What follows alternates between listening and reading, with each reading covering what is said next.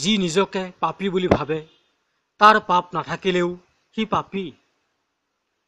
যি নিজকে পবিত্ৰ বুলি ভাবে সি পুণ্যৱান গতিকে মানুহক প্ৰথমে আত্মবিশ্বাসৰ প্ৰয়োজন।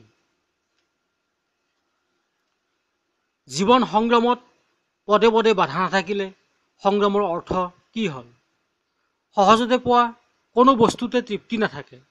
যিমান তৃপ্তি কষ্টসাধ্য কোনো বস্তুত পোৱা যায়।